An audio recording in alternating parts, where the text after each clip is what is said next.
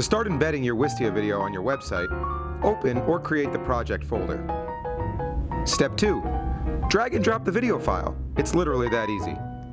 Step 3. Title your video and wait for it to finish encoding.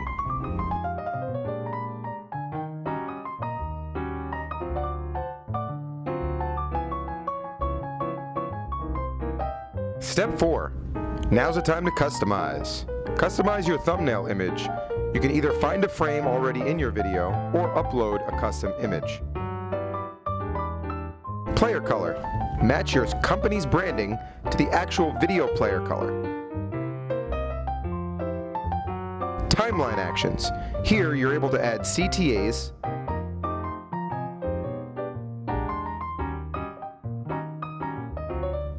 annotations,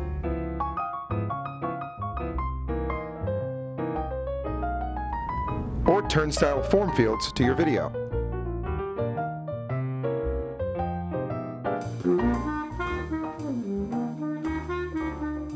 Step 5. Grab the embed code.